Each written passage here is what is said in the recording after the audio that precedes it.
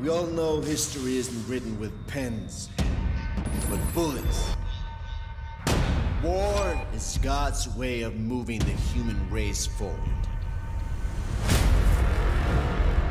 I'm here because the future of the world is in peril. Because of a man named Vandal Savage. I chose you eight to travel throughout time to stop them. You got the wrong guy. Hero ain't on my resume. Where I'm from, you aren't just considered heroes. You're legends. Now it's up to you, shall we?